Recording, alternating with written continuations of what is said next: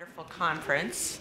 And um, I'm Connie Callahan. I'm a judge on the U.S. Court of Appeals for the Ninth Circuit.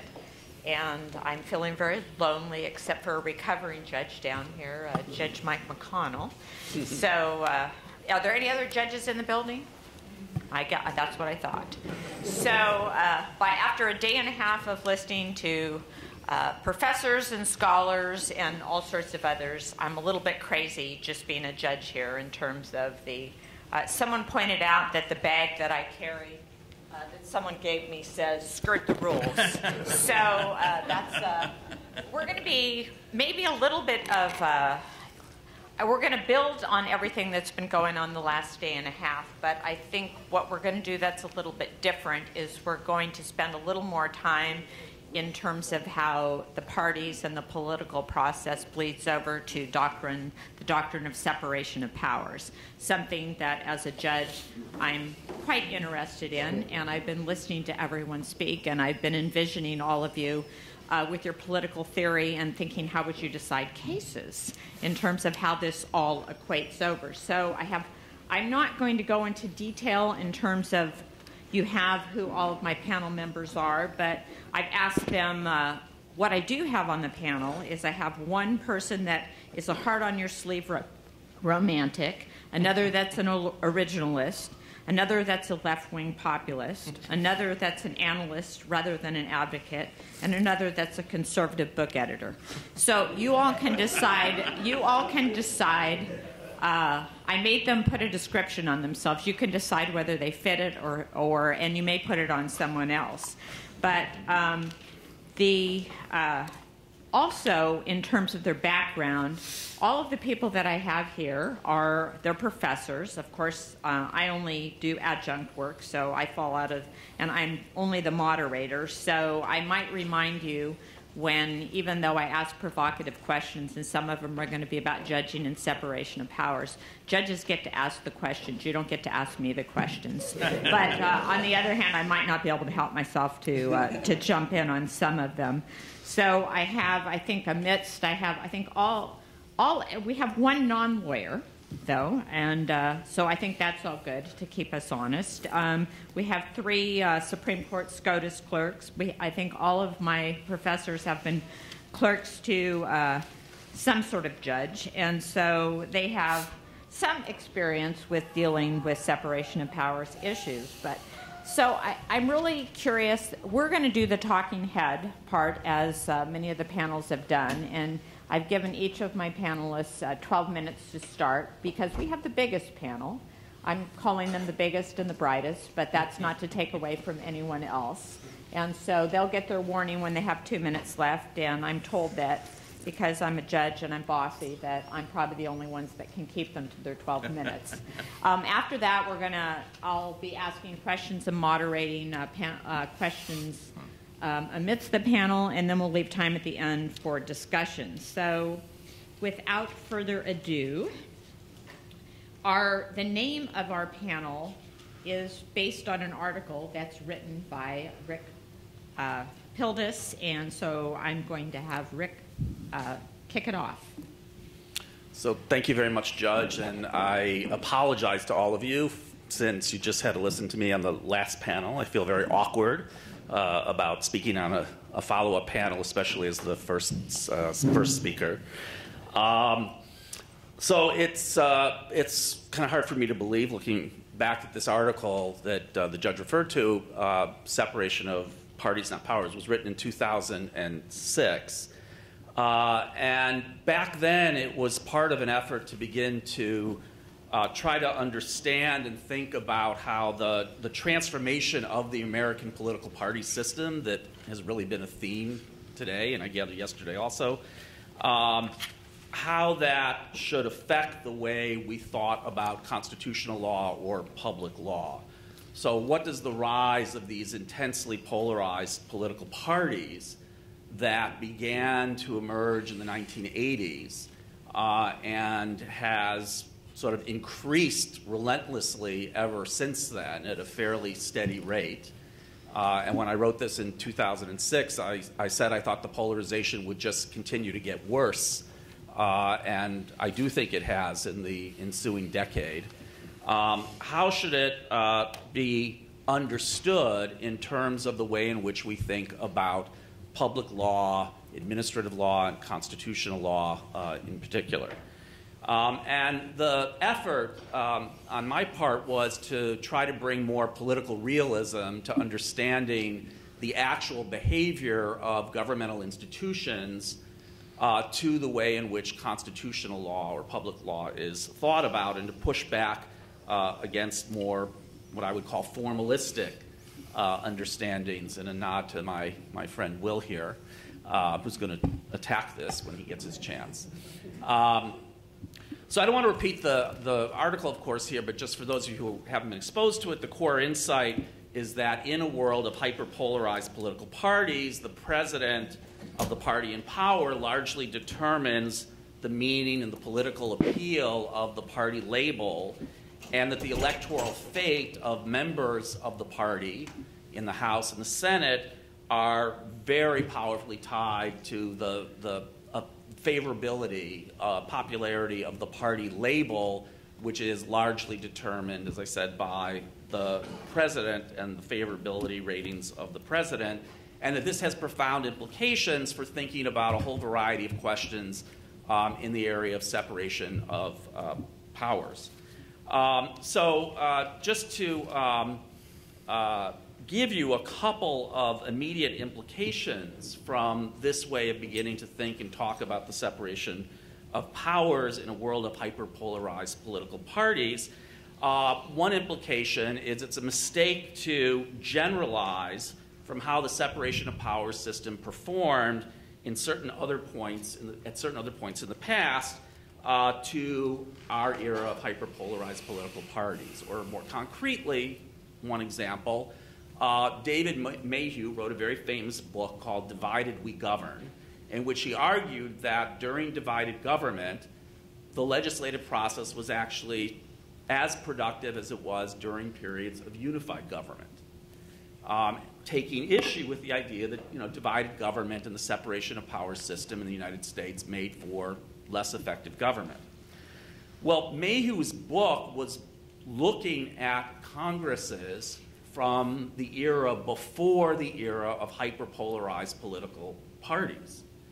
And once we entered into the kind of world we've been living with since the 1980s, but really more and more powerfully so over time, um, it's not true anymore that divided government uh, is capable of producing effective legislation on major policy issues of the day, uh, as identified by various metrics like uh, what pu- uh, the public ranks as the 10 most pressing issues of the day, uh, in the way divided government did uh, during the era in, May, in which Mayhew wrote.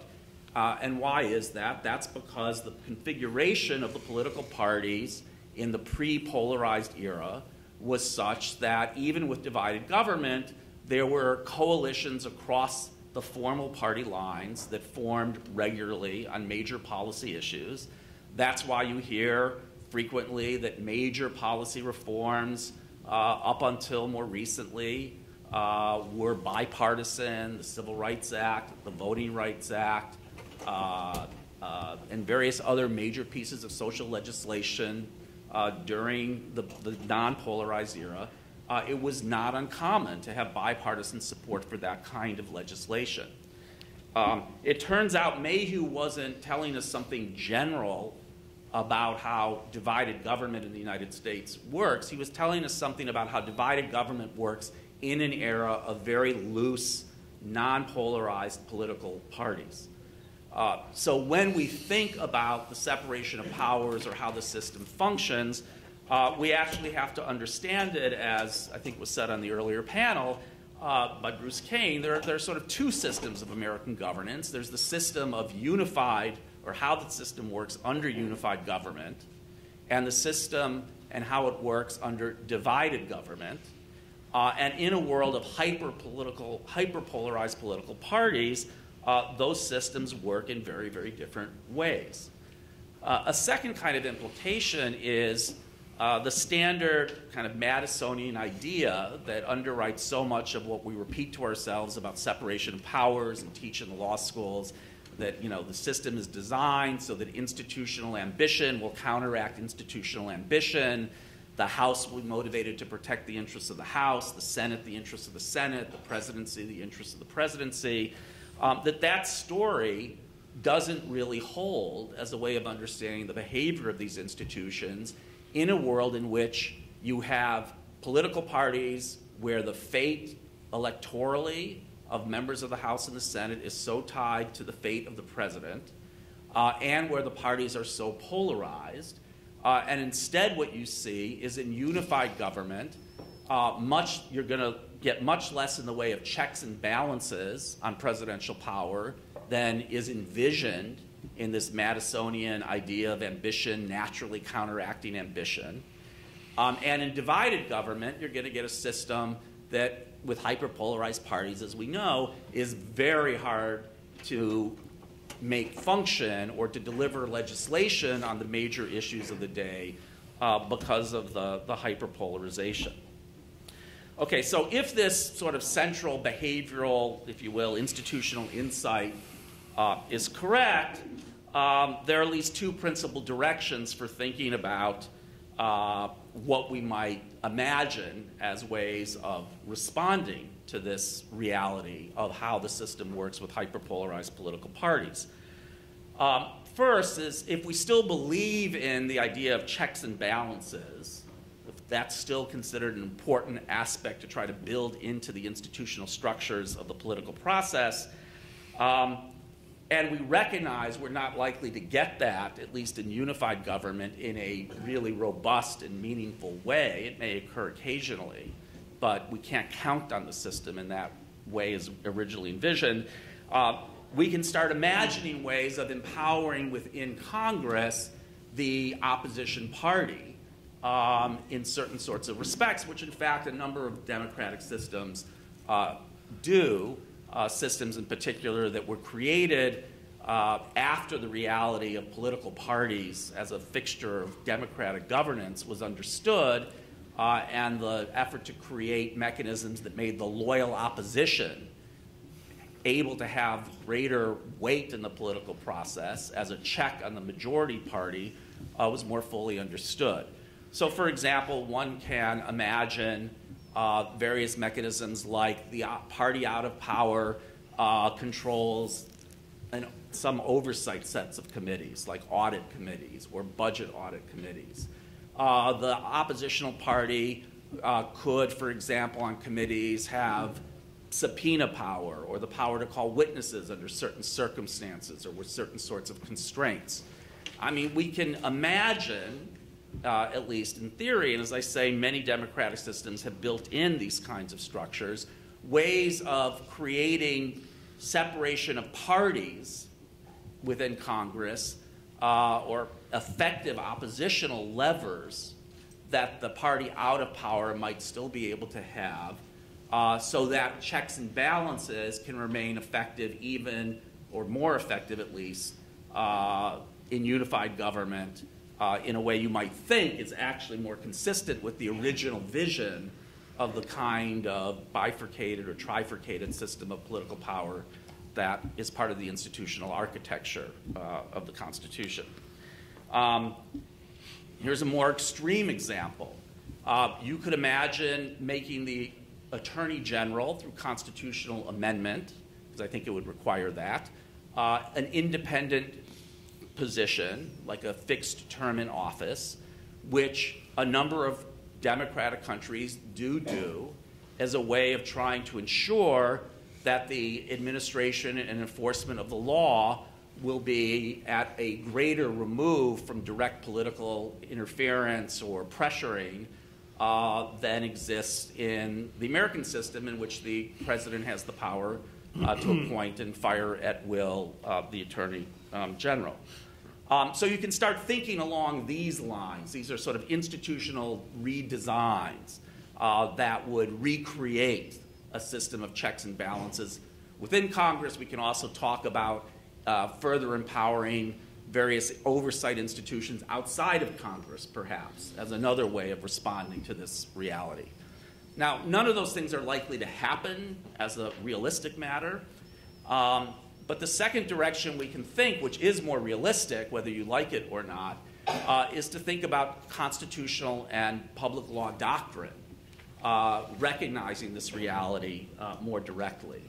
Uh, and so, what this might mean is recognizing, for example, that in periods of unified government, Congress is unlikely to check the president as aggressively as perhaps originally envisioned.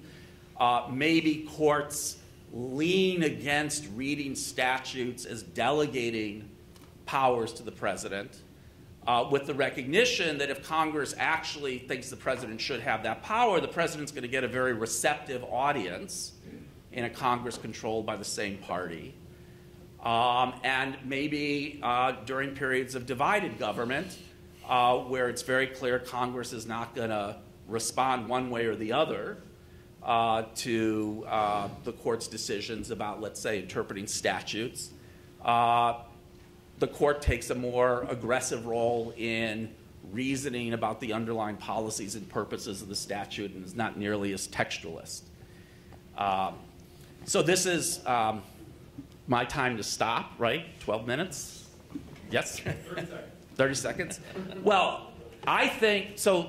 This last point is a more general one, which is when we think about constitutional law and public law, courts face the underlying question of how formally they should look at the other institutions that they're evaluating, whether it's Congress, the presidency, courts, state courts, agencies, and the like. There's a very natural tendency to say, well, of course, courts have to be formalistic about that. Congress is always Congress. It doesn't matter if we have hyperpolarized political parties and divided government. The presidency is always the presidency, whether it's in an era in which we have very weak presidential power or an era after television and modern political parties and the domineering power of modern presidents.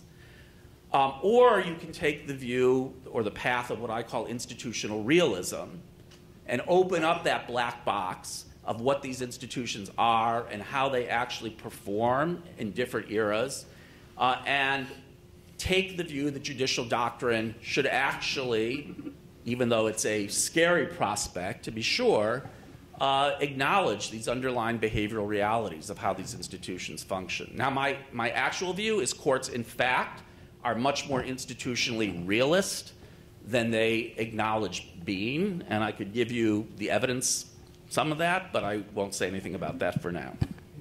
Thank you, Rick. Will, Uh, thank you. revved up? What? Are you revved up? Uh, I don't know yet. Uh, so Rick's article is a, a really profound one, and it's therefore dangerous to try to boil it down into you know a, a few sentences. But I think two of its you know key points are that parties essentially are something more powerful than the separation of powers. That they have you know transgressed the limits the separation of powers was supposed to impose, and instead imposed their own limits. That's why during periods of unified government we don't get enough separation of powers. During periods of divided government we get too much separation of powers, uh, and that's sort of a deep problem for anybody who cares about separation of powers and thought it got things just about right. And then that, that's sort of, in a sense, the descriptive analytical claim. And then there's a normative claim that we ought to do something about that. Uh, I think the descriptive analytical claim is profoundly true, maybe even truer than Rick's presentation uh, led us to believe. It's the normative claim I worry about. So on the descriptive claim, I think it's I think it's completely right that uh, we see these dynamics, that we see you know Congress's role in checking presidential abuses and deciding when to authorize the use of force and uh, reviewing nominations. We could go through. We see that uh, systematically underperforming when uh, they're in the same party, systematically overperforming, and therefore badly performing when they're in opposite parties. I think that's exactly uh, what happens. And I think it makes it hard to sometimes to take seriously so the original separation of powers framework when we teach a bunch of modern controversies where it seems like it doesn't totally make sense. But I think in a way that's inevitable. So at the risk of, I feel like the last panel we're supposed to bring things together. One of the themes throughout a lot of the, the panels is uh, pessimism and the inevitable force of parties. Uh, and I think there's a sense in which political parties were invented. Uh, certainly the, the Martin Van Buren version of the political party that organized the party at various levels of government with patronage and resources flowing up and down uh, from local to state to national the point was, in a sense, to break the Constitution and to break the separation of powers. I mean, the goal of the Constitution is to diffuse power, to limit power, by breaking it into pieces so that you have to gather up all the pieces before you can exercise all of the mighty powers of the federal government. And of course, because that power is valuable and could be used to give people things they really want, uh, they then set about uh, trying to find the pieces and reassemble them. Uh, and that means organizing a party that will control each of whatever branches you require it to control before it's allowed to exercise parties. Uh, I think that's a, in a sense, it's a game of constitutional hide and seek, and there's a limit to how good any institutional design can be at solving it. Imagine we lived in the world of Harry Potter and broke the Constitution into seven Horcruxes, each to be stashed in a different secret location. Uh, and only when you reassembled them all could you exercise the combined powers of the national government. People would set about, you know, slaying dragons, uh, going through dungeons, whatever it took to, to find the pieces of power again and reassemble them. Uh, they'd be called something else, but they would be the equivalent in that constitutional system of political parties. Uh, so I think political parties are just are just in a sense machines designed to break the constitutional limits of power. That's that's the whole point. Uh, and therefore, it's probably uh, fruitless in the long run to try to imagine we could create a new way of domesticating them into the, con- the Constitution, a new set of institutions that would stop that. Uh, if we had an attorney general who was elected outside of the current party or picked outside of the current party system, then part of your presidential program would be to control the law enforcement apparatus through whatever means that took. If it wasn't elections, it would be through some other, you know, giving the CIA immunity from uh, liability for whatever uh, misdeeds it had committed or something else. Uh, if you had an oversight committee, then that would become part of the, the party machine as well. If you have, as we know, if you have independent redistricting commissions, parties figure out, you know, what kind of independence they have to get on the redistricting commission to get the, the results they want. So I think that's just that's just an inevitable part of the, the institutional structure. Uh, and in a sense, the best we can hope for there is to try to direct all that energy to the public good. Uh, and there, I wonder, maybe the Constitution doesn't do any worse than we could hope. In a sense, by requiring, you know, by saying that the rule for assembling all the powers of the national government requires you to win a bunch of elections across slightly different cuts of the electorate, across slightly different periods of time, and then to sort of, you know, win them repeatedly over time and stay in power we're requiring people to assemble a kind of relatively large consensus across a lot of people in favor of their political program, and maybe that's maybe that's really the best we could hope for in terms of directing the, the party's energies, better than sending them off onto you know pointless quests. Uh, so it seems to me the descriptive claim is true, uh, but but I wonder what to make of that. Then we get to the normative claim uh, and especially the idea that judges ought to take account of what's really going on when adjudicating the separation of powers. Uh, and this plays into something else uh, Rick has written about repeatedly and again profoundly, which is this idea of sort of institutional formalism and realism. You know, courts deal with constitutional or legal institutions all the time, uh, and then they have to decide when to treat those institutions as a black box, that they just don't ask you know, how things go in and come out. Think of the jury 99% of the time as an example although occasionally courts do break open the box in extreme cases. Uh, and then when instead they should say, you know, we know what's really going on here. Think of the, the treatment of federalism during the during the civil rights movement, where federal courts treated southern states uh, as if they were, you know, not behaving like appropriate states, which they weren't. Um, unlike Rick, I do think uh, formalism is the normal mode for courts in our in our system.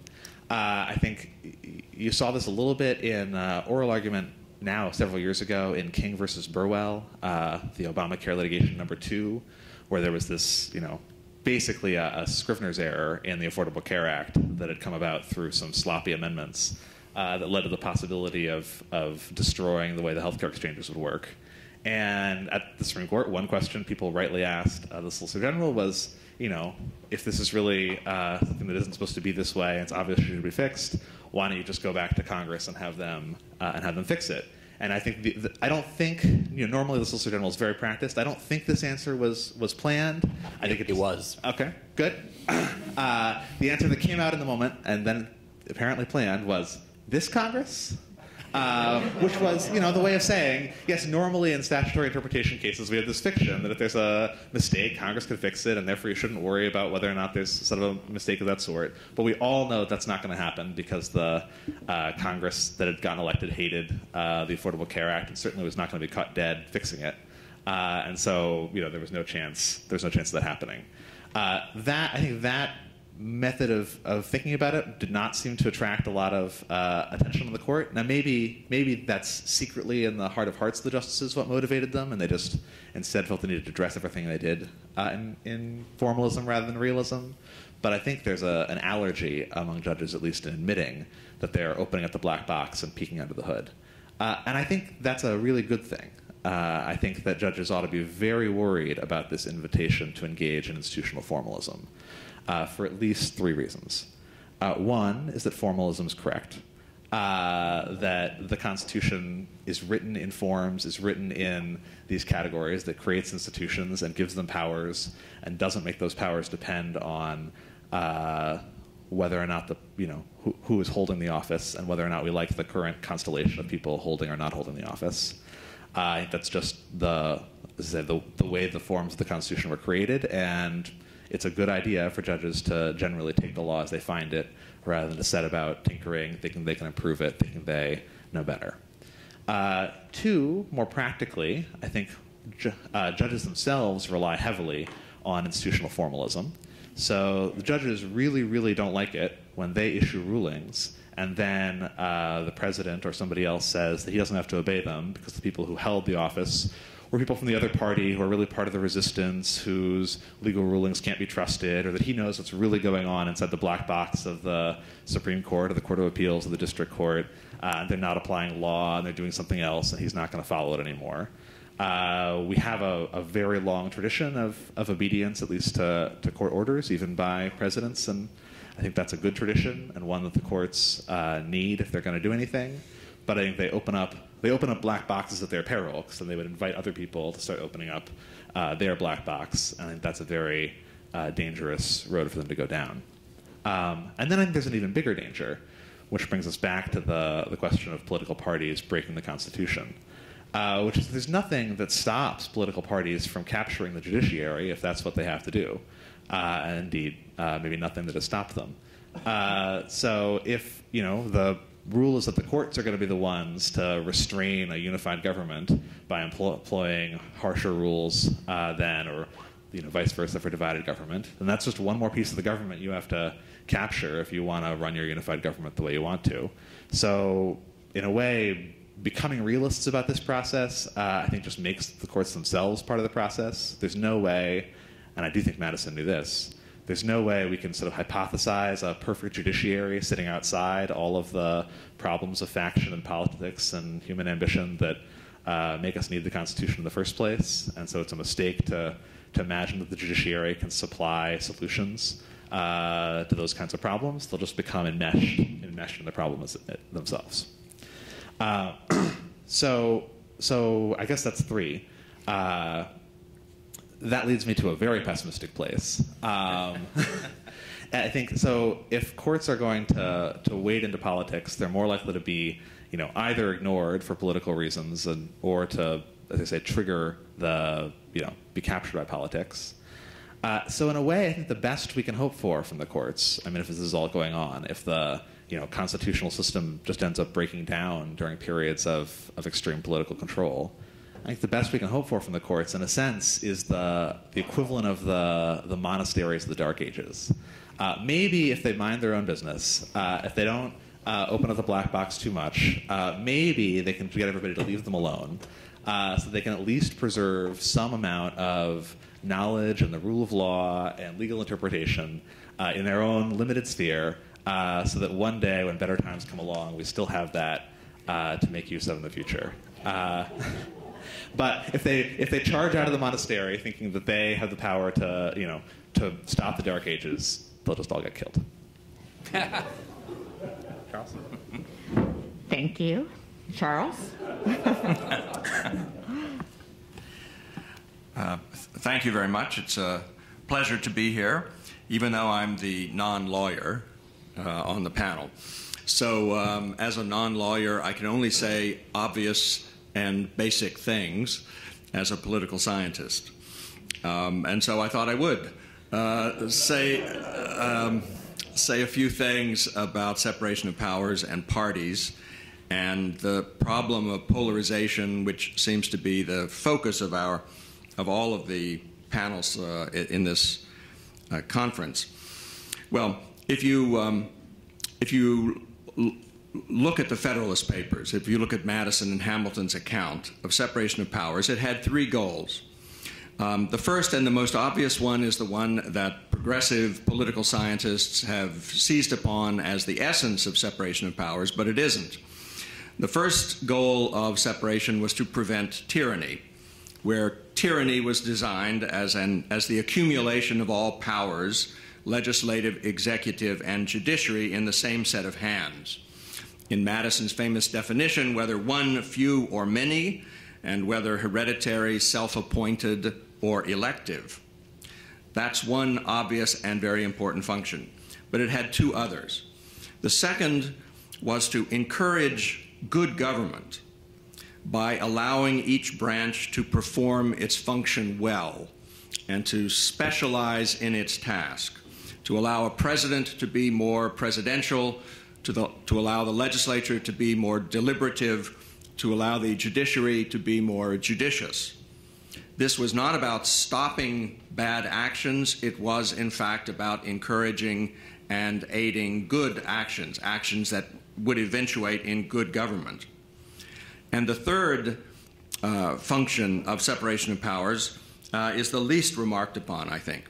And that was it played an important part in encouraging the supremacy of constitutional law over statute law. It did so by encouraging the government to control itself through these internal mechanisms of checks and balances, ambition counteracting ambition. If the government could control itself and police its own branches, the people would not have to intervene in government itself. The people would not have to execute laws or judge uh, in particular cases uh, or even to legislate for themselves directly. In this way, the people's authority is separate from the government. The government is always the representatives, the employees of the people. The people's authority is never implicated in any direct action of government, except, of course, through um, elections. And so, so the government could be, as Madison described it, wholly popular, uh, that is, having no aristocratic or monarchical components, but exclusively representative. Or, as he described it, Madison in Federalist 49, the reason of the public would be able to control the government, and the government would be able to control the passions of the public. The reason of the public means the Constitution. The authority of the people is entirely centered on the Constitution, not on the government or the operations of the government. The, the people, the, the, the people, as it were, set up the Constitution, and through the Constitution, their embodied reason in the Constitution, the government can be controlled, their employees can be controlled by their uh, rational will in the Constitution itself. That was separation of powers. But separation of powers was only an auxiliary precaution. The main precaution, the main reliance in Republican government is on elections. We sometimes forget that. And it's elections where political parties come in. As Will says, I think correctly, parties threaten to combine the separated powers, especially the, the legislature and the executive, together to subvert separation to that extent and to set up a new conspiracy against the public, undermining bicameralism and presidential independence by making the president's selection depend increasingly on caucuses in the legislature. This is actually what happened uh, after um, uh, 1800 and before the emergence of national political parties uh, with uh, conventions to select the presidential uh, nomination. Um, this subversion of separation would allow the government to become master of the Constitution rather than the Constitution being the master of the government. It would, in effect, have made us a kind of parliamentary or quasi parliamentary system where the parliament has, in some, not in every sense, not in every case, but in many cases, has the authority to change the Constitution through ordinary statutory uh, means. So, how to preserve separation of powers and the spirit of the Constitution as the institutions of political parties began to be added to our politics. One constitutional change was needed, the 12th Amendment, uh, to keep presidential selection in the people's hands uh, rather than allowing the Electoral College to deadlock as it had in 1800 and throwing the election every time uh, to the uh, House of Representatives and to par- party caucuses. Um, but there was another change, uh, an informal change needed as well. And, and that was to make the institution of political parties serve the Constitution and its separated powers rather than try to overcome them. And that was the achievement in the post Jacksonian period um, uh, of uh, Martin Van Buren and others, who created the first two party system in America. Uh, parties had existed, of course, throughout the 1790s, and there had been a big showdown in the election of 1800. But both parties in the 1790s regarded party as an emergency device that was not going to operate in ordinary times. It was needed to rescue the Constitution from its enemies, they thought. Uh, it was an innovation of the 1820s, 1830s, more particularly, uh, to conceive of two party competition publicly, respectably, as a, an essential component of democracy, a sort of completion of the constitutional system, because you could, to the extent you could pit the parties against each other uh, to competing as guardians of the Union and the Constitution. Now, the most incisive critic of this system uh, was John C. Calhoun, uh, who argued that neither Madison's system of separated powers nor the post Madisonian party system would actually prevent majority tyranny.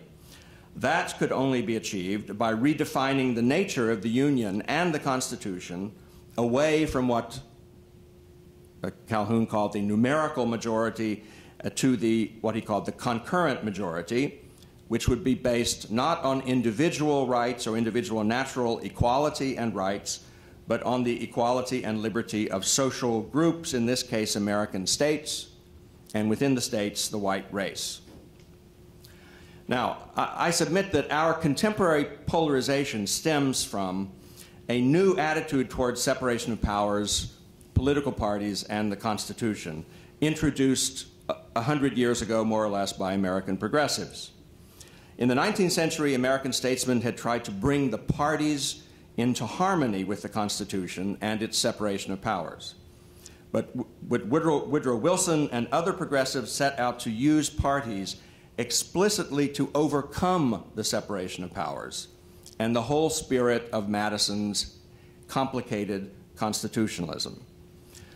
This um, uh, amazing and important uh, uh, reversal of understanding Wilson did in the name of a new concept which he called the living Constitution. And uh, Wilson is the first American president to use the term the living Constitution. And it did not mean, it was not for him just a judicial philosophy or a question of, you know, that arises when Supreme Court judges are up for confirmation. It was an attitude to the whole Constitution, executive, legislative, and judicial. Um, it, had, I will say very quickly, two components to it at least.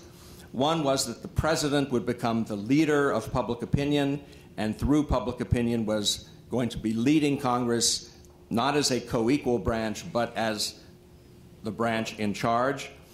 Uh, uh, the, the purpose of parties would be reorganized around the president's own charisma, his personal force, his ability to seize the imagination of the public and thus bring public opinion to bear against uh, the Congress. That's a new conception of political parties, and it was a, uh, it, it's still, I think, basically the leading conception of parties uh, today. In the 19th century, the presidential candidates were inferior to the parties. Nowadays, they essentially are the parties uh, or are in the driving seat of the parties. And the other great development, which began 100 years ago, was not only this change in the nature of presidential leadership and party leadership, but, a, but of course the growth of the administrative state, that is, the delegation of legislative powers to administrative agencies and the gradual eclipse of Congress by re- regulatory agencies. As you know, nowadays, the, by far the greater number of laws that are actually made in America are not made by elected representatives, but are made by uh, unelected um, civil servants in the agencies. So, at first, the 20th century progressives reassured Americans that the two constitutions, the living Constitution and the original Constitution, Madison's, were convergent. That the living Constitution was what the organized Constitution had been all along. Underneath the textbook theory, the reality had been this. That was one argument. The other was uh, slightly different that, that the living Constitution was what was emerging out of the original Constitution as it came into contact with modernity, with the rapid pace of social and economic change. In other words, the living Constitution was sold in a way as a means of keeping the original Constitution up to date, of keeping it alive. And this was Wilson's sort of Darwinian account of, uh, uh, of it, and it was in a way uh, not, not, far from the reality. The first 50 or 60 years um, of, the, of the living Constitution, it, the divergences between it and the literal Constitution, the original Constitution, were not that great.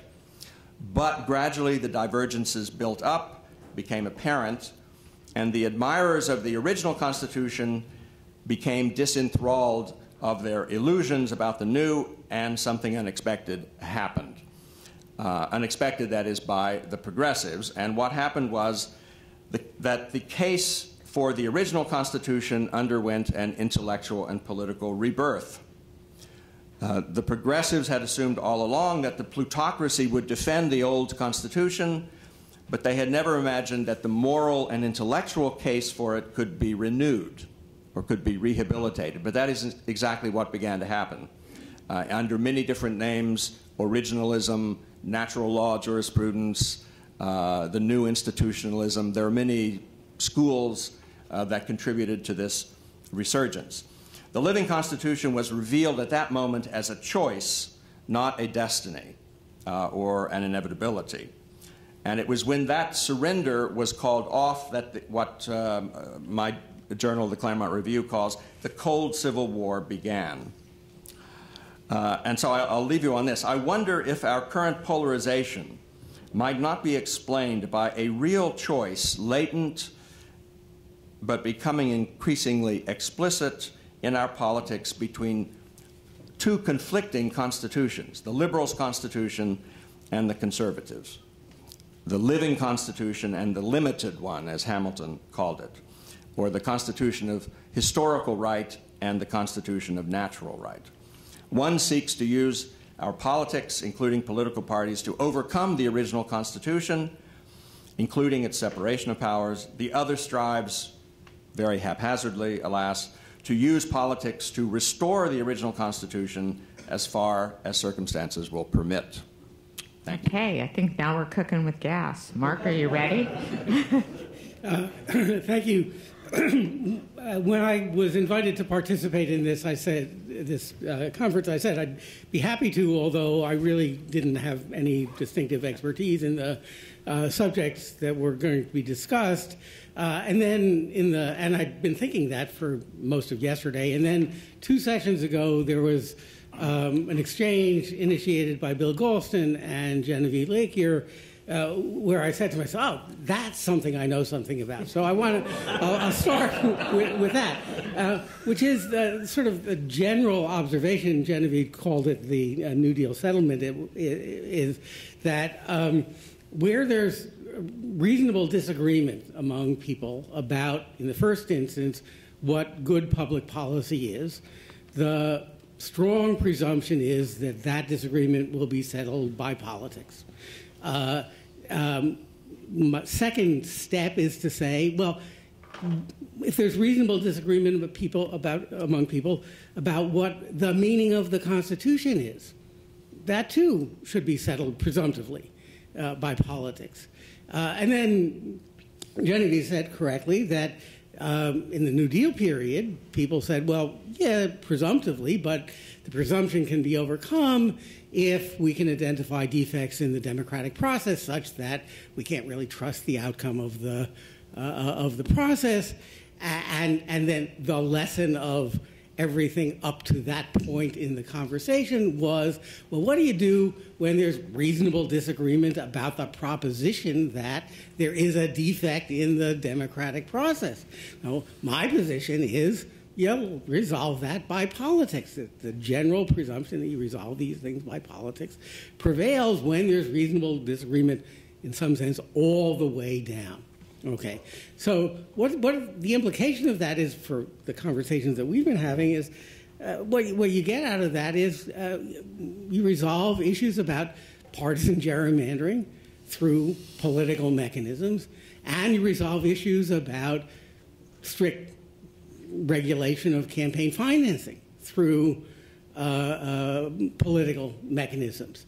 Now, as you can imagine, there's a very small constituency for that position right? Uh, because, and, and in some sense, understandably so, uh, because partisans on each of those issues want to say, well, yeah, we can win on some of those issues, like, uh, but we'll lose on others, and when we lose on them, we want to get the courts to come in and say, well, you know, the Constitution says uh, what the solution should be. Um, and so the only way to, to make the position that I think is the correct one stick is if you can get the judges to agree to it.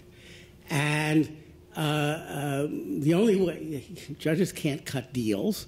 Uh, the only way to uh, make this idea stick is through what I, I, guess it's Habermas calls the force of the better argument.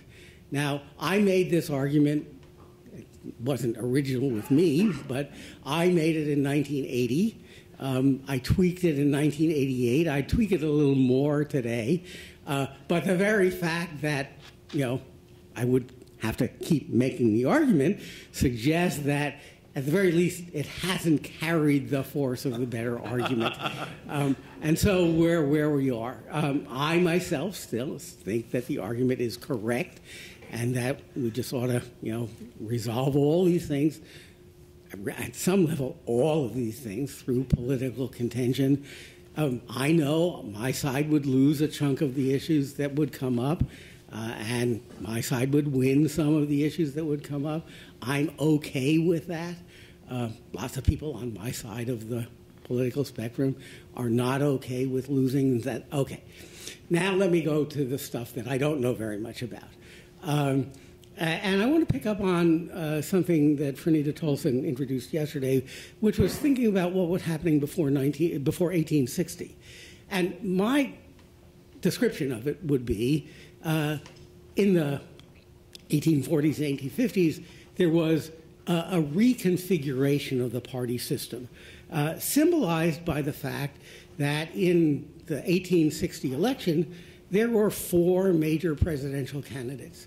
Um, and uh, I think I want to put on the table the proposition that we may be facing uh, a new reconfiguration of the party system in a way that uh, puts under pressure the assumption that runs through most of the discussions that we've had that the existing two party structure is stable and going to be the framework within which all of these issues, including the separation of parties rather than powers, uh, get resolved.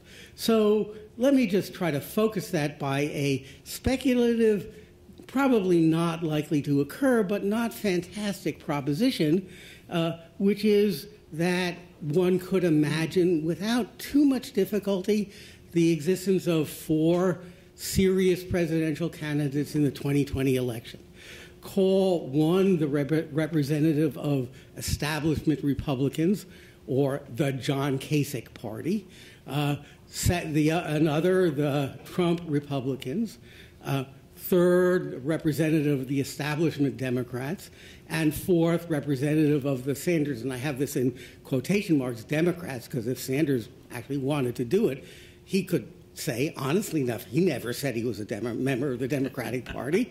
He's going to run as a Democratic Socialist. Um, and so, okay, so put that particular point aside, you, you would have, it's plausible to think that there were people political entrepreneurs who imagine the possibility of representing, running for president as, as the head of each of those four parties. Uh, uh, now, let me say some things about that. First of all, I'm talking about this at the, as a, at the presidential level. Um, doing this as a full scale party, it's probably already too late to do it. And the reconfiguration that occurred in the 1840s and 1850s took, you know, 10, 12 years, not the two that we have now. Um, second uh, observation is um, are there rules that in place that would obstruct the, uh, the emergence of this kind of new party system? Um, and the natural response is to say, well, you know, we know that third parties don't succeed uh, directly, and they don't have elect, direct electoral success. Um, uh, four parties might be different, actually. Uh, uh, and in particular, you can imagine the John Kasich Republicans saying, well, you know, we can beat the Trump Republicans and the Democrats, and the two Democrats who are running. That's the Demo- Democrats are going to divide their votes too, so we can beat them in, you know, the industrial Midwest. The Trump Republicans will beat the three of, of us in the South, and so on and so forth. Uh, so it might be that with four parties of this sort, the experience of the three party, the third parties, is not quite as relevant as, as you might think it would be.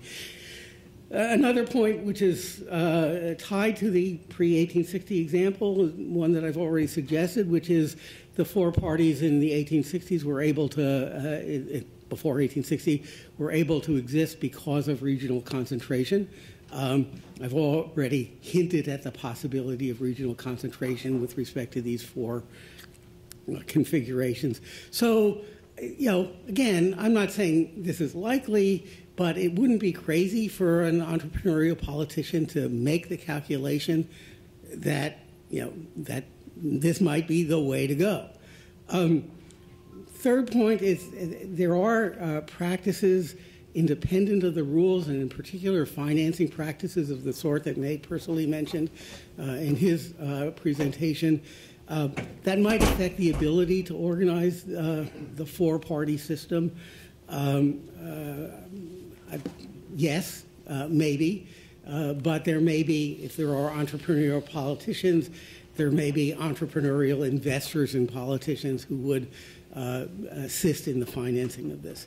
Uh, final point on this is um, I've talked about this at the presidential level, and the reconfiguration that occurred before 1860 occurred in the first instance, I think, I'm not an expert on this stuff, but I think it occurred in the first instance at the state and local levels and through congressional uh, elections and so on, and then crystallized in the 1860 election. And so you'd have to think about how John Kasich, Bernie Sanders, you know, the four people I have in mind, uh, uh, would would uh, organize these parties uh, at the at the state and Senate levels. Um, and you know there are there are startup costs uh, that would have to be incurred, and that's why I say it may be already too late to do this because the startup costs might have to be incurring those now in order to put the mechanisms in place to run. Um, uh, the people, these politicians I have in mind, uh, probably are going to imagine uh, that they could run in primaries and win some of the primaries and so on. Uh, and then they'd face uh, uh, problems of um, the sore losers laws that were mentioned earlier and so on and they'd run up against existing doctrine uh, that is, uh, as I suggested earlier, predicated on the stability of the now existing uh, party configuration, which may, that doctrinal structure may fit the current circumstances badly. So there are lots of obstacles to this.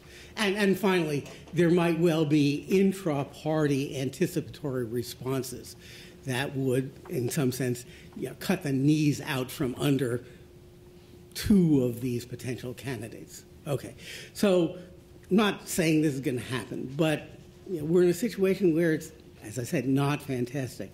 The implications for the separation of powers, and this is what I'll uh, end on, is that if there were four parties, it would actually it would reopen the possibility of uh, coalition governments that have. We've talked about that uh, several uh, times already. Uh, again, in Bill Galston's initial presentation, he said that we might have to tinker with or adjust Senate rules and House rules to deal with how this kind of coalition government might, might, might, might work. Uh, but if coalition government reemerge, not as coalitions uh, crossing, not as bipartisan coalitions, but as coalitions among separately defined parties. Uh, we might actually return to the classic separation of powers kinds of ideas that uh, Rick says are displaced by the existing party system. Uh, we would always have divided government, uh, uh, but it, it, wouldn't be the hyperpolarized kind of party government uh, that we now have. Uh, and therefore the classic idea of uh, the separation of powers rather than the separation of parties uh, might uh, might operate effectively. Thank you, Mark. Paul. So yesterday, uh, Mike McConnell began the conference with a, a look back to the view of the founding generation that virtuous leaders were essential to sound government. And that hope for uh, public virtue was not without a knowledge of human psychology on the part of the framers, uh, including but not limited to Madison. And so, in writings like Federalist 51, the ambition and desire for reputation of individuals was to be used to channel and constrain self regarding behavior, to attach it to office, and to direct it toward the public good. And we've spent two days talking about how that did not happen.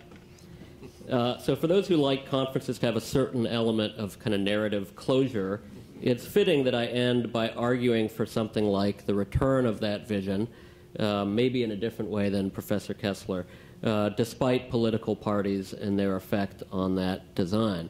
And I have to say, especially after two days of political scientists, I mean, not even the the theorists. You know, if the theorists were here, they'd just tell me I was wrong, but they wouldn't demand a data set, right? But after after two days of that, um, and and historians who I greatly admire, you know, I was feeling progressively more embarrassed to make such a kind of romantic argument for a return of this vision. But uh, and I was going to describe it as kind of a pleasant bedtime story before going off after a long conference. But Will has really kind of energized me and with this Harry Potter uh, metaphor. So now I can think of this uh, little talk as being kind of Harry Potter and the constitutional tripod, which, you know, much better, right? Still um, uh, fiction, but um, things turn out pretty well for him in the end, more or less. So I want to talk about three concepts, hence the tripod office, oath, and honor that should work together to provide something like a virtuous world of office holding relevant to each branch and to interbranch relations. Um, I wanted to be on this panel because uh, Rick, uh, with his co author Daryl Levinson, has indeed presented some very good criticisms of this view, and I wanted to be exposed to the kind of cold light of reality. Seems, as I said, like a foolish view at the end of two days of this, but um, Harry Potter. Uh, and then close with a, a, few words, maybe about how this should be relevant to judges, although I don't want to be too court centric uh, about it. So I'm somewhat haltingly at work at a, on a book about oaths in the Constitution. Um, and I'm sure Judge Callahan would tell you she remembers taking her constitutional and judicial oaths, that she doesn't take them lightly. Uh, but it's a common and reasonable assumption that as a culture, we don't honor oaths the way that we used to do. For that matter, we don't honor honor the way that we once did. Oaths are often seen as antiquated. Honor has famously been called obsolete, replaced by dignity as the primary understanding of human beings and their status.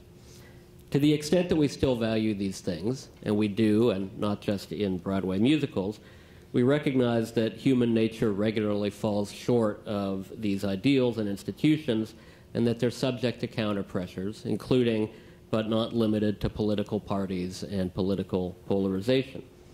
And of course, there are good reasons for us to value dignity and to worry about honor with its very mixed history. On the other hand, a potential downside of a dignity based culture is that it lacks a thick set of incentives and motivations.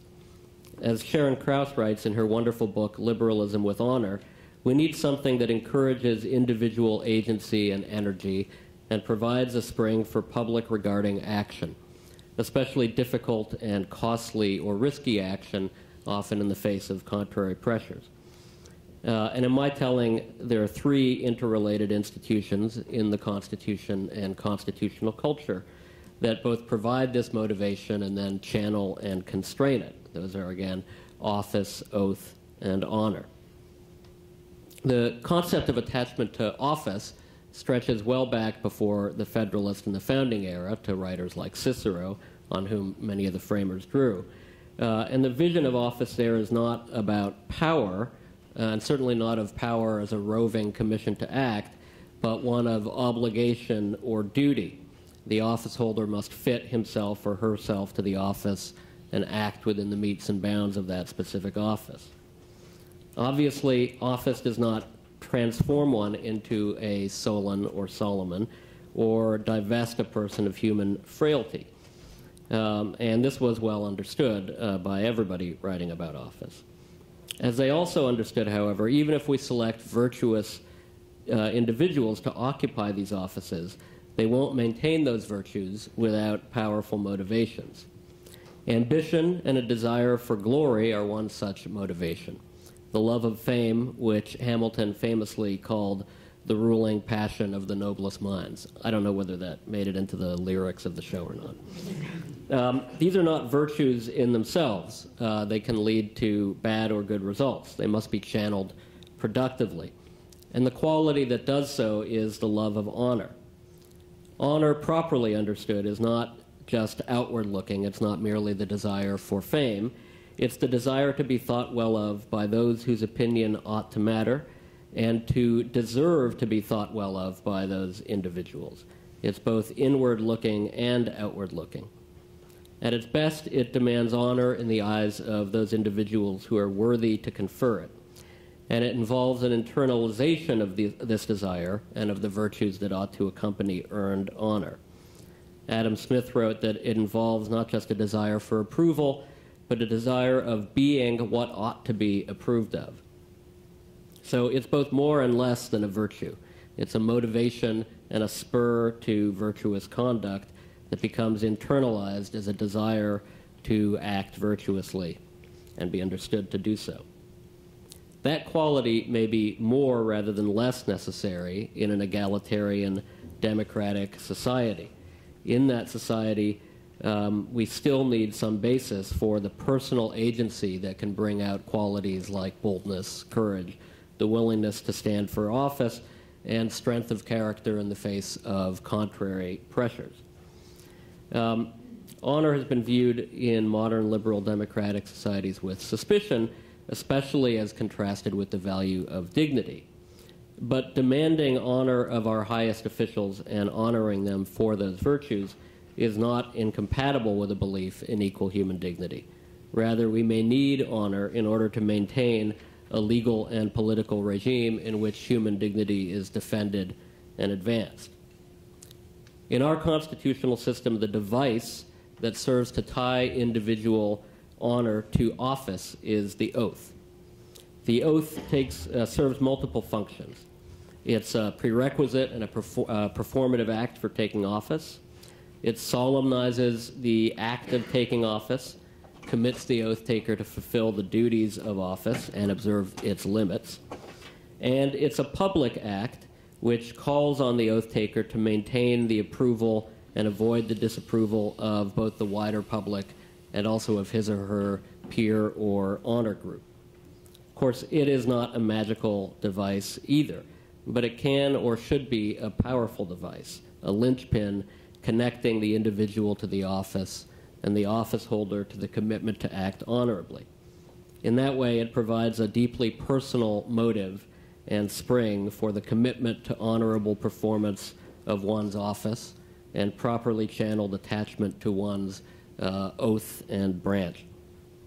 Um, that these qualities are aspirational and often incompletely fulfilled does not make them less important.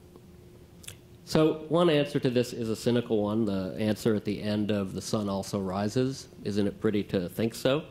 Uh, and especially, as I said, after two days of political scientists, one can feel especially uh, brazen in making an argument uh, like this. Um, and there's no question that there are many factors recognized since the beginning of our history as a nation, uh, or yours, since I'm a, a Canadian, um, that, uh, that we can think about, uh, including parties, that complicate this story. Uh, not least, changes in our culture in which honor is not uh, on, respected even in the breach, let alone the observance, but is thought of as a superseded value. And obviously, we can add uh, political parties as one of those factors. So I, I don't want to dodge these questions. I certainly don't want to ignore their existence. They pose a serious challenge to anyone who wants to argue for something like an honor or oath based or virtue based uh, view of high office. Um, unfortunately, well, I should say I'm positive I have a complete answer to those questions, but unfortunately, time prevents me from presenting all of them here. And I already said I'm a Canadian, so that was an example of deadpan humor, just to be clear. Uh, but I do want to say two uh, slightly qualified things in defense of this vision. And the first is normative uh, and a little proselytizing, and that's that there is still a great deal of value uh, to this vision. Kenji Yoshino has written that the Madisonian vision in Federalist 51 is at once too cynical and too naive. So the finest legal literature uh, now, thanks to uh, Rick and Daryl, uh, is full of versions of the Madison is too naive argument. So I think there's uh, some room for a let's not be too cynical argument. Um, and I don't think this is a question of, uh, of being simplistic, uh, rather, uh, or of seeing this as an easy thing to achieve. Rather, the, the troika of oath, honor, and office are intertwined, interdependent, and especially dependent on a larger set of cultural values, uh, which really uh, we don't necessarily possess right now. So, this kind of project requires not only the revival of honor, but also its adaptation to a different, to a more democratic and dignitarian culture in a way that treats dignity as a basic floor, a feature of all human beings, while celebrating greatness of spirit and seeing failures of duty or compliance with party or ideological interests over the duties and obligations of office as shameful. That's uh, hardly a straightforward or easy thing to achieve. But I don't think these concepts have passed out of our values and vocabulary altogether, and they're worth uh, rethinking and reviving. The second observation, and this will be very brief, is that we're not utterly lacking in a more modern technology or vocabulary for achieving some of the revival that I advocate here, at least in some places or some forms. There's room for some designs that encourage institutional loyalty and tie it to sounder performance in office. And rather than spell these out, I will simply say, uh, point you to a useful recent article on the subject Institutional Loyalties in Constitutional Law by David Fontana and Aziz Huq. Uh, it's more technocratic in its approach than any romantic talk of office or oath uh, or honor, but it's uh, also more practical and suggestive that there are ways to encourage honorable identification with office and with loyalty to one's oath, and I certainly commend it. Um, given time, I won't say too much about this. I'll just add a couple of sentences, and if people want to follow up during questions, that's fine. Uh, I said I would talk about the role for courts.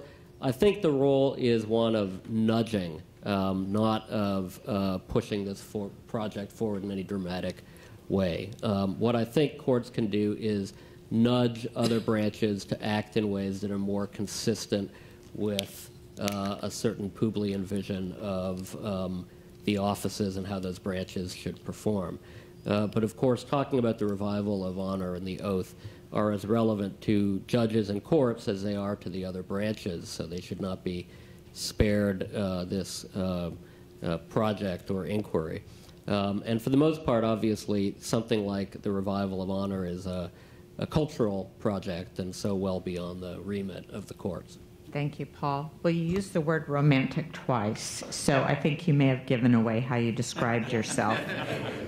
I want to I want to thank you all for setting the stage. I, I want to go back to um, I want to go back to the Constitution, and I want to go back to all the things that we've talked about that are impediments to getting things done with the various branches of government, and uh, whether it's divided or whether it's unified government but really, where does the Constitution fit into all of this? And I think Rick's article posits a functional approach to the judiciary's check on the executive power, where the political branches are unified under one party. Courts might be more willing to invalidate presidential actions that expand presidential powers because a politically aligned Congress could pass the necessary legislation that achieves the same objective. And then conversely, the courts could uh, consider increased accommodation of executive action in times of divided government, as uh, congressional legislation is less likely under those conditions. I guess my broader question is Does the Constitution permit such an approach? Does it permit a sliding scale relative to whether it's divided or unified government or whether where the other branches are not getting anything done? I've always thought a little bit of the Constitution as setting out in Article 1, 2, and 3 exactly what powers went with each branch. And then if you want to be, uh, if you want to color within the lines, then you're following what the Constitution says. And so I'm curious about where we're advocating maybe coloring outside the lines, what um, what you may think would justify that. Is it a progressive view of the Constitution, or is it really allowed under the Constitution, or is it allowed by the times? And so, Rick, I'm going to start with you because you kind of set our foundation.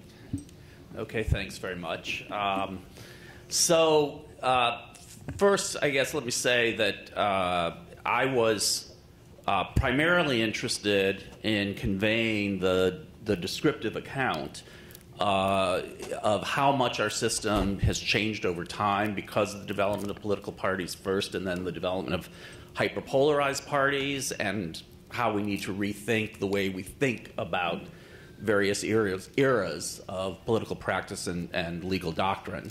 Uh, and in then trying to work out are there normative implications from this, uh, I, you know, certainly meaning to be provocative uh, and uh, creative in raising possibilities for how we might think about judicial review uh, in constitutional cases or in statutory cases or administrative law cases. So I don't want to oversell the normative side. I don't want to get boxed into, you know, being too hard line about this more than I actually mean to be. But, but I do want to say that I think, you know, despite the, the kind of question you asked and some of the questions that Will raised, um, it's very clear American courts have, in some contexts, shifted legal doctrine over time based on different assessments of how various public institutions are performing. So I mean, the easiest example is from the administrative law area, not the constitutional area. But there's no question that when there was a dramatic change in the view of how administrative agencies functioned, when in the 1960s there was the emergence of a fair amount of political consensus that agencies were no longer to be thought of as the kind of expert technocrats, uh, but were much more easily captured by the regulated actors uh, that courts developed the hard look doctrine in administrative law and became much more aggressive about reviewing agency action precisely in response to that changed set of perceptions. Uh, you know, similarly, Will alluded to fed- federal court doctrine uh, and the very different ways the Supreme Court treated the state courts uh, in the 1950s and the 1960s than the way they came to treat the state courts in the post you know 80s or so era. Uh, now, let's talk about the presidency and how the court has changed judicial doctrine with respect to the presidency. Uh, I think the, the most celebrated case in the canon of separation of powers, the Steel, Steel seizure case, um, has many opinions, including the Justice Jackson opinion, uh, that is the most cited, that I think are very much affected by this institutionally realist judgment about how the presidency has changed and how to look, in, look at the presidency in the aftermath of the rise of totalitarian governments and the, and the fight in World War II. So, for example, Jackson very explicitly says the president is now the head of a party system. He can work his will through the legislature in a way he couldn't before because of that. He commands the national attention in a way that presidents in the 19th century didn't. And I think that when Jackson starts applying his very elusive tripartite framework, and you start trying to characterize whether the president is acting in the face of prohibition by Congress, silence by Congress, or authorization, I think that he tilts against finding congressional authorization where I think he could have from the statutes, partly because of these facts. But Felix Frankfurter, in that opinion, says, in his separate opinion, says something like, it is hard to see in the, I can't capture the language, the son of a haberdasher from Missouri or the fertile soil of Missouri, a dictator, blah, blah. And that's exactly what he's seeing, or that's the risk that he's seeing in the presidency after World War II. And I think part of the reason he votes the way that he does. Um, I think that the I'll stop here with this point, but I think uh, the way the Supreme Court treated the cases out of Guantanamo uh, late in the post 9 11 era, when the court finally became involved, uh, overturning, in my view, doctrine from the post World War II period uh, about the issue, for example, of habeas in Guantanamo and whether it applied, where Justice O'Connor writes the war is not a blank check for presidential power. I find it hard not to see that decision to intervene in that area in that way as being unaffected by what was widely understood at the time, which is the very expansive claims about unilateral Article II executive power that was being that were, was being made by the Bush administration, apart from the specifics of that case. Well, before So- I let you move off. No, of that's there- it. No, I'm gonna, I'm Yeah. not gonna let you off yet. Oh. Um, Because I, I kind of want to set the stage for as we go down, because another, um, you write a lot of articles. um, and I'll and try to write fewer program. going forward. Well, in, you, in another one of your articles, you assert that gerrymandered districts exacerbate the ideological divide between the two major political parties and that the Supreme Court's going to soon decide whether political gerrymandering runs afoul of the First Amendment or the Equal Protection Clause, and whether the ju- judiciary is equipped to adjudicate such disputes. So I'm sort of curious if your view of uh, James Madison's um, constitutional design accommodate judicial review of challenges to partisan gerrymandering. So we, because we're going to get into all of this, and so we're not only talking about how we draw the lines, but what's ju- I can't even say this word, it just a judici- judiciable, you know, what they should be deciding. Um, well, I, I think you know most of American constitutional history probably isn't consistent with, whatever Madison might have thought about what the role of the courts would be. But certainly, with respect to the, what I call the law of democracy, or what Sam and I call the law of democracy, every single thing the Supreme Court has done in this area, starting with the development of the one vote, one person doctrine and the end of malapportionment, to the development of the understanding that the right to vote was to be treated as a fundamental right under the 14th Amendment and strict scrutiny would be applied to severe burdens on the right to vote, to treating matters of political party affiliation as protected by First Amendment, the right of association, which also is not directly in the First Amendment. All of the law of democracy is as non originalist as any area of jurisprudence that we have. And it would not be, I mean, in that context, the, the originalist question about how to deal with partisan gerrymandering, um, you know, uh, is one I find hard to, to kind of answer except by pointing to, to that body of law. But to respond to Mark's skepticism about whether courts should do something in that area, I mean, it's easy to imagine, you know, scenarios. The legislature currently in power says we stay in power unless the other side gets 45%. I mean, we stay in power if we get 45% of the vote or more. Or we stay in power if we get 35% of the vote or more.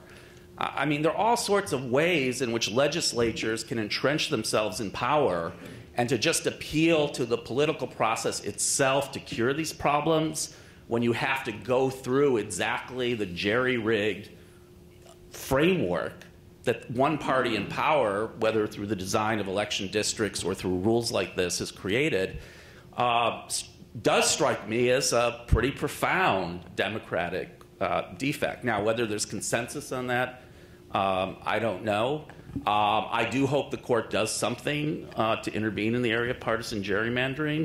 Um, I think it's a pathology of American democracy. Um, I think the courts are not going to probably do anything that's major.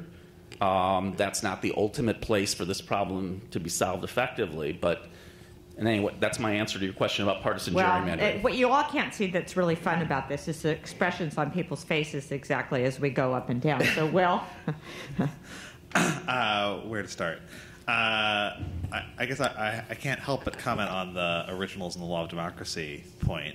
I think it's right uh, that it's probably one of the least originalist areas of well entrenched doctrine, and the one person, one vote quest uh, is, is, right. I think it's worth noting that sort of an originalist approach to the Constitution's law of democracy is not so much something that we tried and found wanting as uh, never managed to try at all.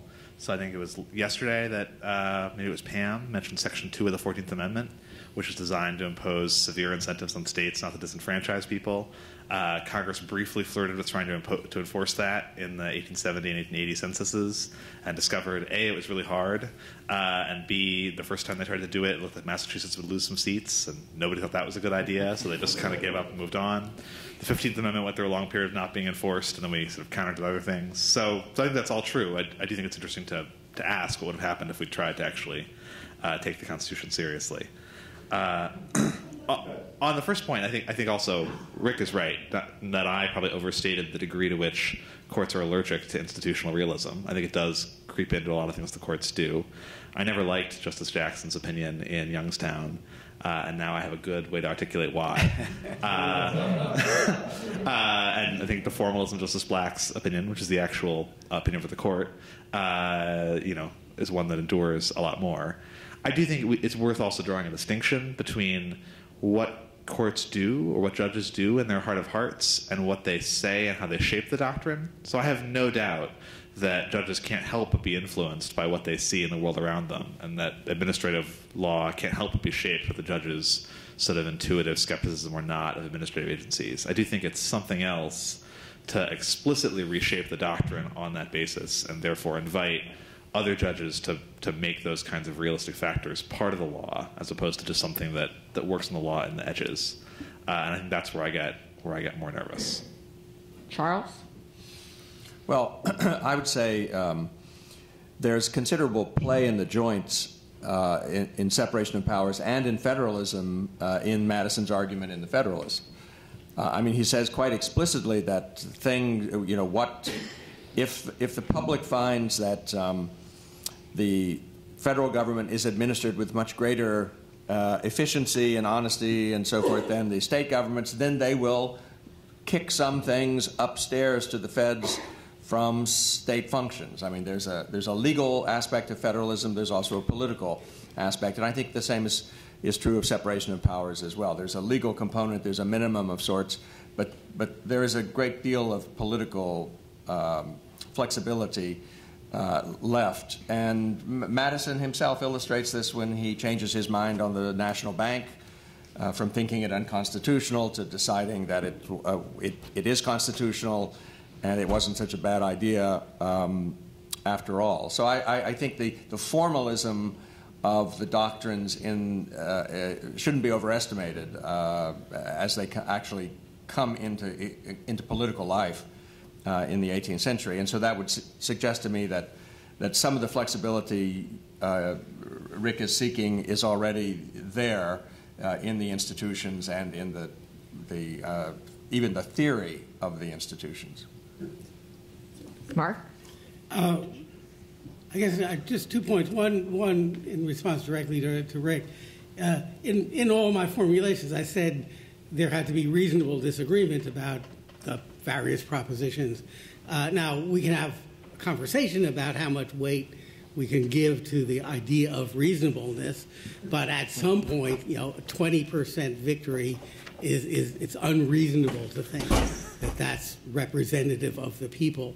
Um, 45% in a context where people make reasonable arguments about uh, fraudulent voting, um, who knows? Uh, I would want to have that kind of conversation.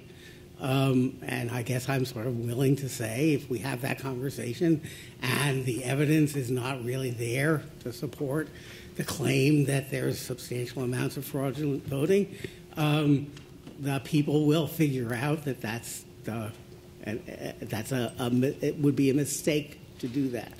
Um, on on Will's point about you know articulated doctrine and uh, what was in the judge's heart, I, I do I, I, sort of you know, done a lot of work on the development of administrative law in the 1930s, um, and you know, the the judges who were doing that were uh, quite good lawyers, and so the it was not references to administrative law as a, a, response to problems of modernity, not something they say. Theorists say that.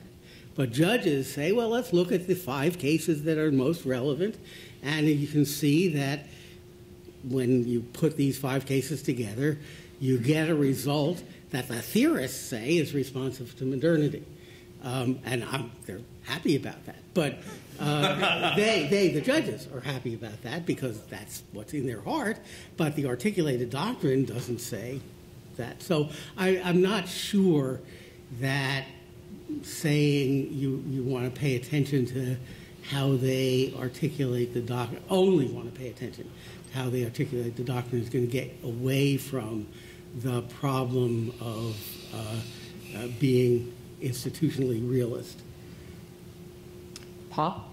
Yep. So um, I won't use the institutional realism frame because I kind of already.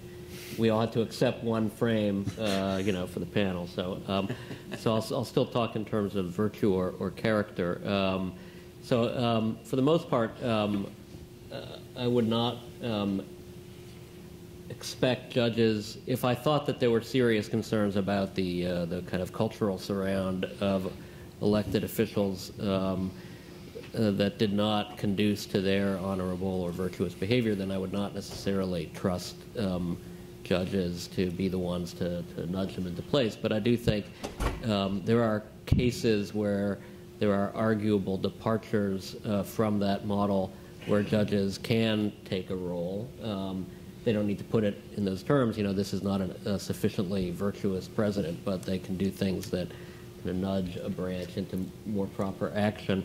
So there's a recent, and this, I know you're thinking about this, John. Um, so is that under the Constitution, or is that just a good idea? No, no, I think, well, um, yes, it's under the Constitution uh, or under statute. I never saw nudge in the Constitution, right. so I'm so let me, let curious me it, about that. Let me put it uh, in these terms. I'll, I'll, first kind of provide the extreme example, and then of. Um, so, uh, in a recent article, Sandy Levinson and Mark Graber argued that where you have what they call an anti Publian president. The court should basically subject everything that that president does to strict scrutiny.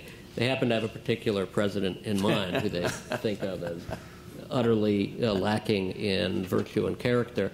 Um, what I think you can do reasonably as a, as a court, um, I mean, with the legal materials available to you, is look for where there is ambiguity or uncertainty about the constitutionality of an action by a branch.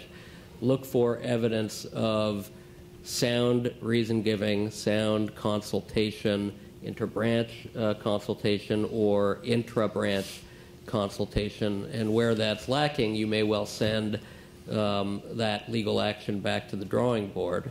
Um, I'm thinking here of, for instance, an executive order that's drafted in the West Wing and where the president cuts everybody else out of the process. You can say there are uncertainties about this, or there are outright um, uh, due process problems with it. Um, but they can go back and You find the hook. uh, so you find the hook, and what you say is provide sounder reasons, provide a sounder process, one that is consistent with your not acting um, will o' the wisp, but um, acting in a way that's consistent with reasoned deliberation. And then they may come back and give you uh, a still lousy policy that's had the rough edges sounded off because reasonable people in government have been consulted on it. And then at some point you take yes for an answer and say, as it were, that is now a sufficiently Publian process or law, um, even if we don't happen to like the policy. I can say that does happen in judging. So I, I want to move and I want to talk about Trump versus Hawaii. Um, we've been talking about things that divide people. That's the travel ban case for anyone that doesn't that doesn't know that, and it involves the Supreme Court's long-standing jurisprudence recognizing the near plenary power of the president to exclude immigrants. Those cases stretch back at least to the 1950s. For example, Shaughnessy versus the United States, XL Masai, a time when the political party's ideological cohesion was less pronounced. In our current area, where party loyalty and cohesion appear to be at their zenith and the president and congressional majority are of the same party, should the judiciary take a more active role in checking executive power when it comes to issues like national security and immigration? So, um, recognizing that, and I, I think this is something that we also discussed, I think you can incorporate into that when we're talking about it, is whether you think that the parties of the justices are going to be a factor in deciding this case. Who wants to start?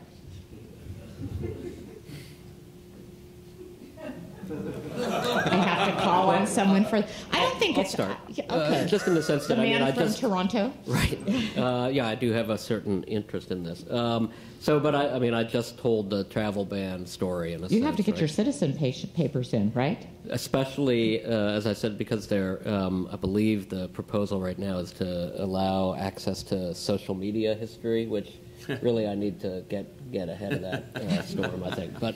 Um, i- i- in any event, um, I mean, the story I told, I think, was the travel ban story. You have uh, first round um, that, in particular, um, cut out a lot of responsible office holders. I mean, loyal, um, institutionally identified office holders within the executive branch, cut them out of the uh, consultative process, or at least so it was uh, reported, um, and forcing the White House, in effect, to go back and uh, extend its deliberations and policy making so that it provided reasons, tweaked the order, uh, dealt with people uh, throughout that branch who had more expertise. Um, I do think that is the kind of nudging that courts can and should do, and that makes the process. Again, it may still be a policy that I'm not fond of, um, and it might still be unconstitutional for other reasons, uh, but it makes it a more acceptably, um, I guess, Madisonian or, or consistent with the kind of uh, Madisonian government at that Well, point. in, but in the particular case that I read the transcript of argument, I mean, part of the issue that cert was granted on is number one is whether it's justi- justiciable, because they're talking about national security and whether it can even be reviewed. So you have that. So um, if I were to be a betting person, I would probably say the court's going to say they can look at it. But then when you get to the next point, some of the questions if you uh, probably the, the strongest questions in terms of and I, if you're talking party of the justices and i'm just looking at the oral i'm you know uh, oral argument um, i think ginsburg kagan and sotomayor were talking about well isn't this just something that congress does? What can the president even get into this area? Um, breyer seemed to be a bit i think he was a bit slushy and then on the other justices either didn't ask questions too much or uh, seemed to be more on the side of uh, uh, there's exec that the that it's within uh, that there's executive power here involved because. Uh, Will, do you want to talk about this? Uh, yeah, a couple thoughts. So I do think it's predictable and unfortunate that there's a kind of reshuffling of who on the court is in favor of executive power and immigration uh, with a little more speed and turnaround than you might expect. Uh, I think you can look at some of the things that some of the justices said about executive power and immigration when Texas versus the United States is being argued. And they seem to suggest they're coming at it from a different place now with the new president in power. And I think you've even seen some academics uh, having to rush to to revise some of their previous claims about the presidency and immigration law when the immigration law is in the hands of the wrong president, in their view. Uh, I mean, I think on the travel ban itself, uh, there's a lot of sort of technical doctrinal parsing of Kleindienst versus Mandel, and does facially legitimate and bona fide mean two things or one thing, about which I still have not figured out my own view. Uh, the thing I do think the most strongly is that the court shouldn't and won't at any point say something like, you know, uh, Donald Trump does not exercise the normal powers of the President of the United States because he's not a normal president, even though I think that's a thing a lot of people think and maybe some of the justices think. But I that, that shouldn't be a part of the, the consideration, and I, I don't think they'll explicitly say that, even if some of them think it. Uh, and I do think. It, I mean, the courts seems to uh, they seem to be more cohesive on when they're looking at separation of powers issues. Um, they don't seem to break down quite as much in terms of party lines. It would seem. I- but, but the adding the immigration component to it, I think Right. changes. You know, I think if we're looking, it changes the component here. Uh, and I, I would have said that more before Zivotofsky a couple of years ago, where there was more of an ideological split in recognizing uh, the president's recogni- president's foreign affairs power over Israel and Jerusalem than I might have expected, and, and sometimes I fear we do get that. Rick, you're just dying to weigh in, aren't you? No. I, I mean, the only thing I would say that you know kind of reflects the comments that Paul made is that, uh, generally speaking, of course, you know, courts have been fairly deferential to executive claims of national security. They become less deferential in general in the more modern period, and I think that when courts have reasons to be concerned about whether national security justifications are being invoked sort of pretextually or without a lot of credibility, uh, they're going to be more aggressive. But how do they actually assess that? I think they're very reluctant to make substantive judgments because they don't feel they have access to the relevant information. But they do, I think, again, maybe sub rosa, uh, pay attention to the processes through which these decisions were reached. And the more credible the process appears to be, the more comfortable they're, they are in deferring. And as Paul said, uh, the less the process looks like a process that engaged a genuine deliberation about national security among the people in the institutions of government who have that expertise, I, I think the more likely they are to express a little bit more skepticism. Well, the fact that this is the third iteration, do you makes a think big that makes a big difference? Yeah, I think so. And it's changed shape in various ways. Um, but Charles? I'll leave it there. Well, I, I um, have a question to, to Paul, really. How would the concept of honor in the judicial office shed light on this case? Because it seems to me, if, uh, you know, one could give an account of the office of the judge to be, uh, to, to um, be restrained, uh, to uh, abide by stare decisis. I mean, one could give a very traditional account of what the, his role in the rule of law is.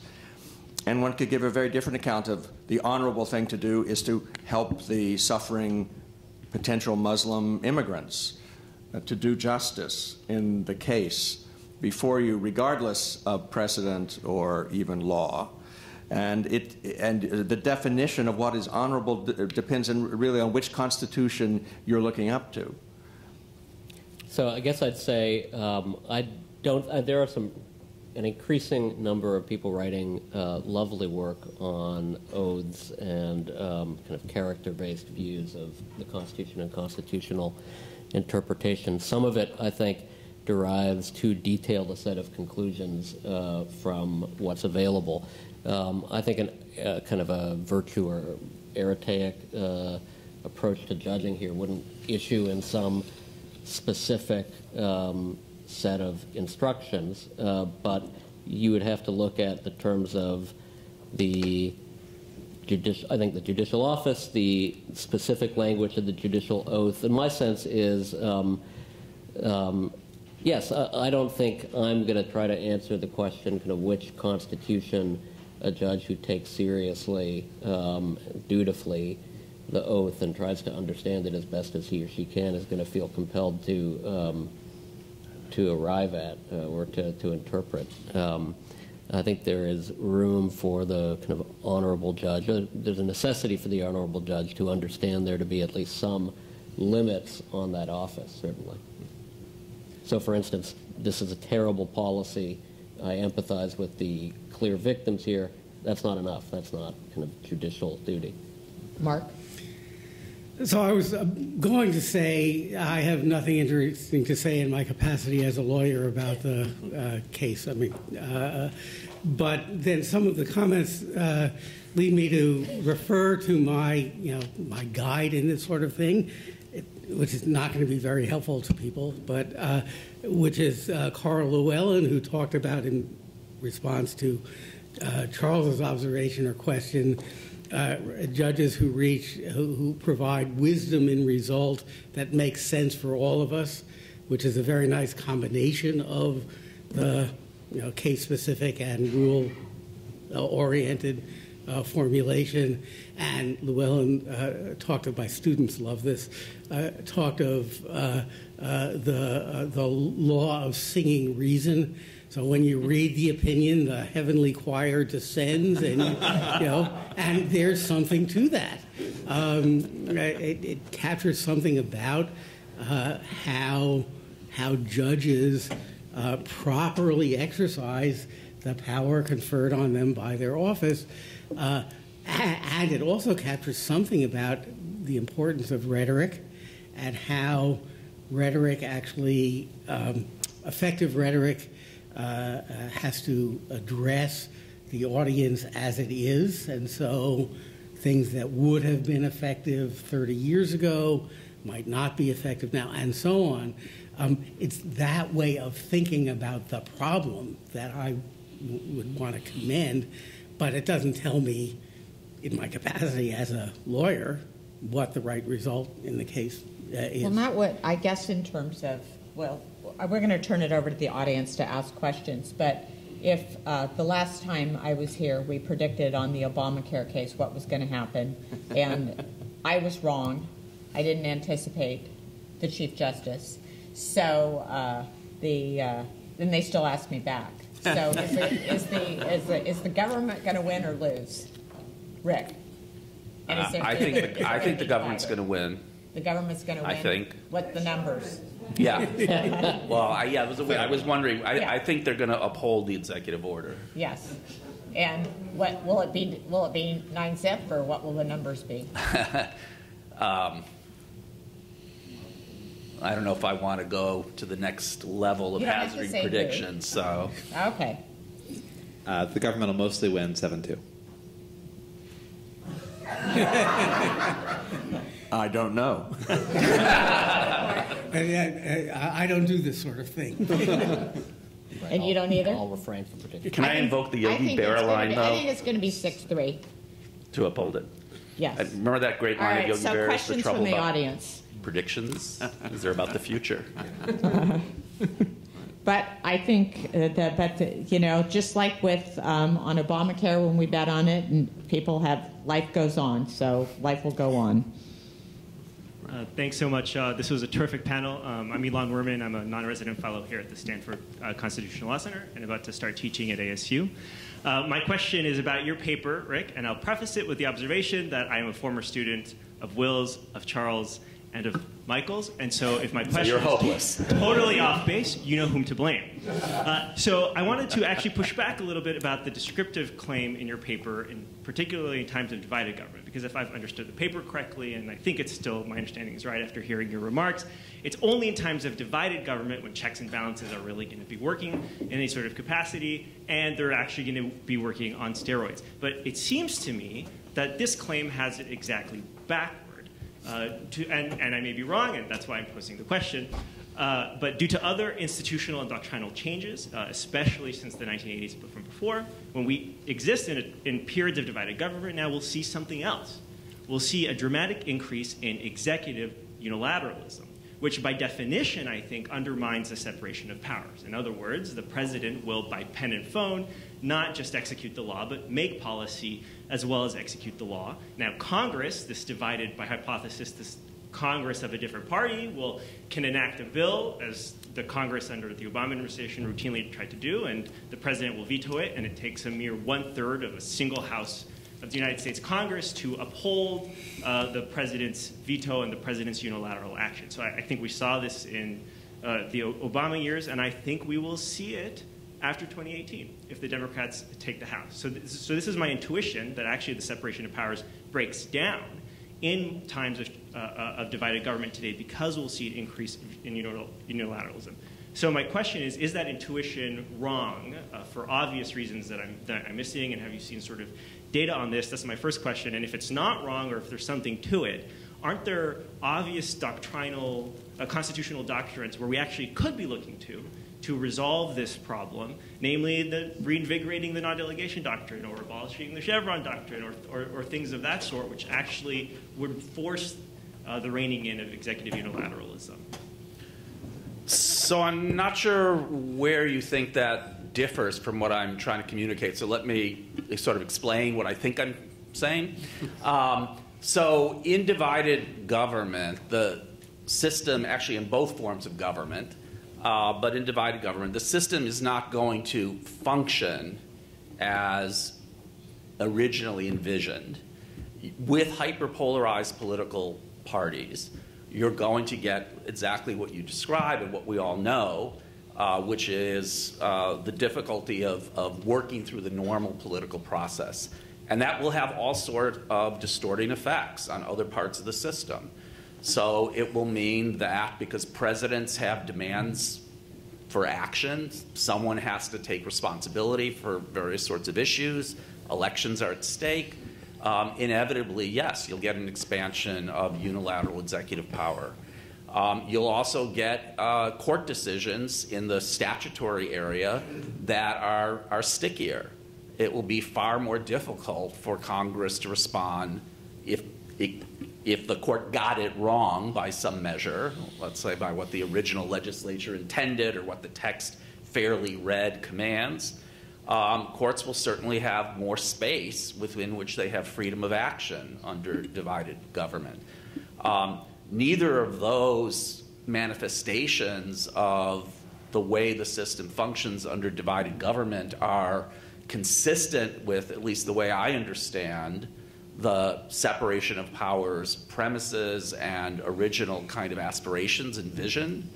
Uh, so um, I think these are distortions uh, that are, yes, inevitable when the normal political process set up by the Constitution breaks down because it can't handle, wasn't designed for the kind of hyperpolarized political parties that we have. And you combine this with the filibuster rule, which of course is a, a legislative internal rule, not something that's emerged other than by, by dint of the Senate's own prerogatives. Um, and it only accentuates the difficulty of making a divided government system function through the normal legislative process. It breaks down, as you say. So I had a question about um, if the uh, court wanted to get into the Establishment Clause arguments in the travel ban and whether the court should be constrained to only look at the four corners of the executive order or whether things like Trump tweets or Trump speeches should also be considered by the court.